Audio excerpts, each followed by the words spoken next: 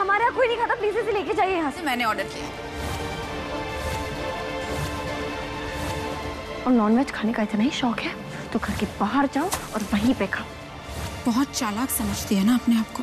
इसकी चालाकी तो मैं ठीक करके ही रहूँगी।